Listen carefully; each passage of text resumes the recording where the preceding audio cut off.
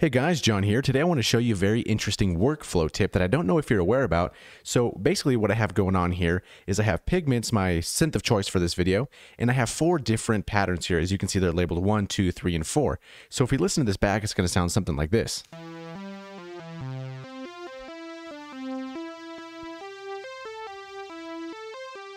So nothing too interesting. This is more so for demonstration purposes, but let's say I come into the situation where I have one synth, so in this case pigments, but I want to have different type of effects on that synth for different parts of the song. Maybe for this first intro here, I want it just like this.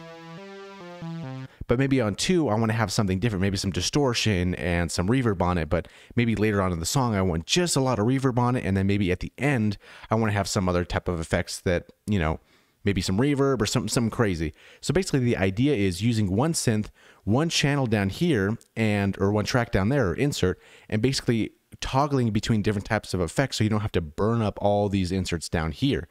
So an easy way to do this is using Patcher. So if I turn this on right here, all these inserts, take a li listen to see what happens here.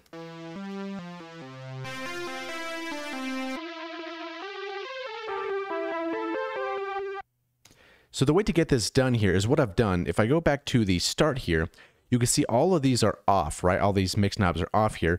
And if we open up our automation here, we can see that this first pattern here, it's this is going to be off, which is corresponding to this first patcher. And then on the second bar here, once we go right here, this is going to be on. So this first one's going to be toggled on. The third one, the second one here of patcher is going to be on, and the first one's off. And then on the last bar, the fourth bar, the uh, let's go a little bit further here. On this fourth bar, the third patcher here is on and then the next two are off.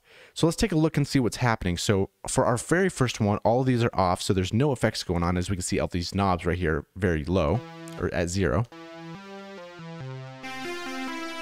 So now we enter this phase right here. And as we can see, this first patcher is on. So if we click this here, I put a lot of overdrive, so Fruity Blood overdrive here, and I kind of cranked it quite a bit for, for demonstration. I ran that through a reverb and then back out. Now with this patcher, you can get in depth as much as you want. You can really create your own uh, your own rack within this within this plugin. It's pretty amazing.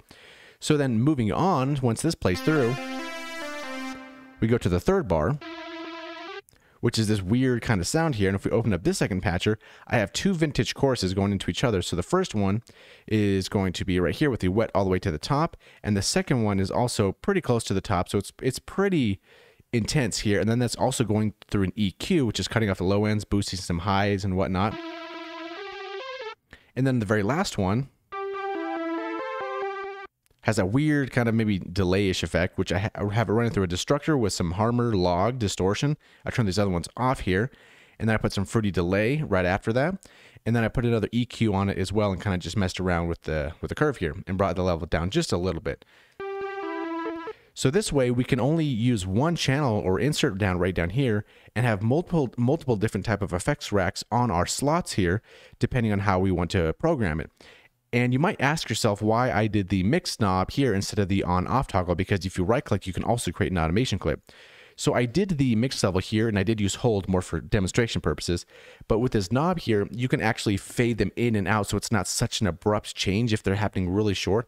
So that's one little uh, kind of advantage for that. So something to keep in mind. It's a very cool workflow tip and it kind of saves you a lot of these instrument uh, or inserts down here at the bottom. And you can really customize really in depth however you want with patchers. So hopefully that helps you out in your workflow, or maybe if you ever come into it, you can say, we can do that. We have the technology. So hopefully that helps you, and we'll see you in the next video.